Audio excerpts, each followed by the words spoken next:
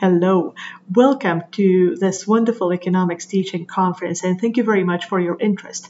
My name is Lavinia Moldovan, and I teach at Mount Royal University in Calgary, Canada. Through this presentation, I would like to share my experience in creating and implementing a photo assignment and a Principles of Microeconomics course, and perhaps inspire some of you to use a similar approach in your work. The assignment asks students to make connections between their own world and microeconomic theory and do it explicitly without us assuming that they would make these connections on their own and also to facilitate engagement. Chew and Cerbin identify nine cognitive challenges to student learning. One of them is the student mental mindset, in that students may believe that the course is irrelevant to them, and the other one is the transfer of learning from short term memory to long term memory. And then Chew and Cerbin say that students can vary in their ability and propensity to apply course concepts appropriately outside the classroom context. Students often fail to apply knowledge beyond the end of the course.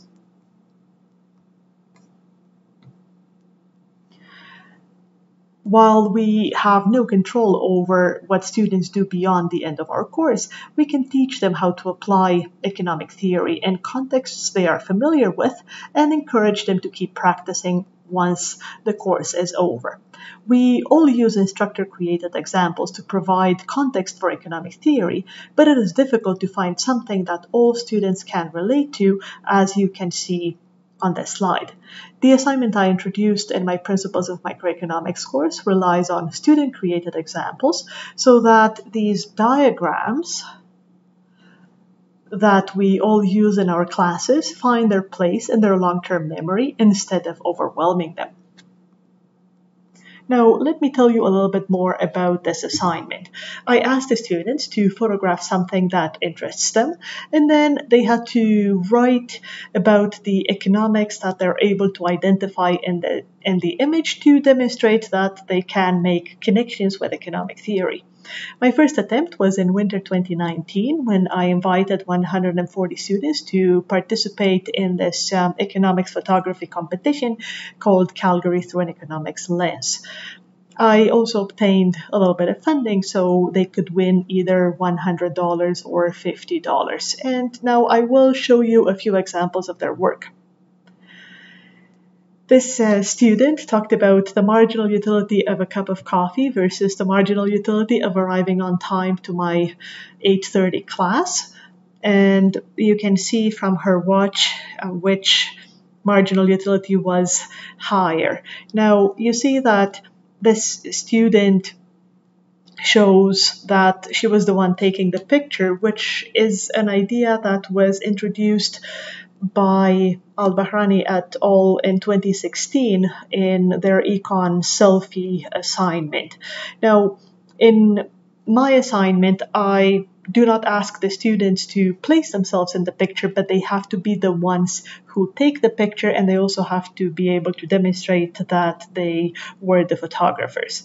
Now, let me show you a few other examples you learn a lot about your students and then they also teach you how you could explain some of the concepts so that they understand them better. So, for example, this student actually makes these engravements by herself. And then she decided to talk about the tragedy of the commons and how it affected jaguars in Peru. Of course, we also have hockey games, and this is the annual hockey game between our university and the University of Calgary. And the student rightfully identified that the demand for beer increases when there's a hockey game, and one's willingness to purchase is high if everyone else has a drink in their hand. Now, here are a couple of things that you need to know about such assignments. I, when I organized them as a competition, I only convinced eight students out of 140 to participate. Maybe some of you can sell this better, but th- these were my results. If you ask the students to vote for their favorite um, image, or actually the image that um, best incorporates economic theory, well, you end up getting a lot of votes for cute dogs. So I decided that in future iterations, I will make the assignment mandatory and I will grade it on a rubric to somehow uh, try to be as objective as possible. So right now I am using this assignment in my class. The students have to incorporate their image in a template. They have to list the economics keywords that they will be addressing, and they also have to write a 300 word explanation. The word limit is not extremely important, but I'm just trying to avoid getting either two lines or 30 pages. I usually have between two and four photographs that the students have to submit throughout the term, and they could be worth between 10% to 20% of their course grade, just to create enough of an incentive for them to think carefully about this assignment. And then you can see some details from the grading rubric here. This is an assignment that was due in April 2020, as you can easily see. We were all facing these shortages, so there were a lot of assignments about toilet paper. And it is interesting because the assignment works even though we cannot really anticipate what will happen between the beginning of the term and the end of the and the end of the term. We also had unusually low gas prices in Calgary at that time, so you could buy one liter of gasoline for 22 Canadian cents um, compared to a price of $1.27 that you can see one year later. This is another interesting setup.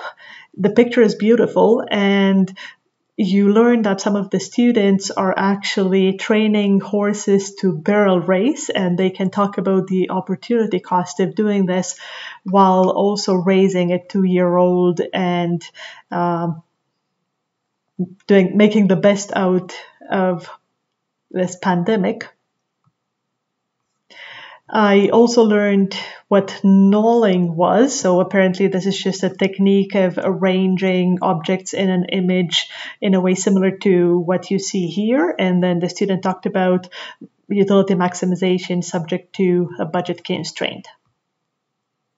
Of course, dogs are very popular, so you should expect a few pictures of dogs. In um, this one, the student talked about the supply and demand of all sorts of uh, dog related products and services. This is the Calgary Public Library. I didn't even know that it was open in March 2021, but apparently one of the students had had enough um, staying at home and studying. So he was um, doing this at the Central Library, and then he talked about public goods, the free rider problem, resources, taxes, and so on.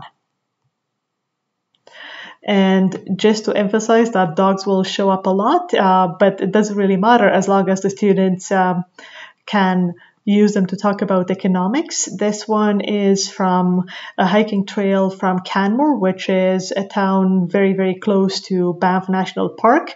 But um, at the time the picture was taken, there was no need to pay for a national park pass to go to Canmore. So that's why the student was saying that she was enjoying the town on a budget. And then she talked about demand, supply, and elasticity. So again, just to um, emphasize this, the goal of the assignment was for the students to connect their own world and microeconomic theory. And their work is extremely diverse and it is more diverse than the examples that I could come up with thinking that they're able to connect to them. So I really like using these student created examples. Of course, the assignment can be also used in a principles of macroeconomics class.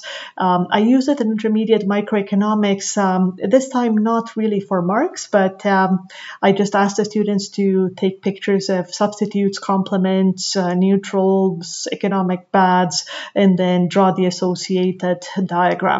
You can also use it for development economics if the students are able to identify or take pictures of economic inequality, uh, environmental economics, as well as urban economics. In terms of the related literature, the closest uh, papers would be Al Bahrani et al. You see, they have uh, two papers with uh, a slightly different set of co authors. Uh, both of them talk about using econ selfies and they also emphasize sharing these images through social media.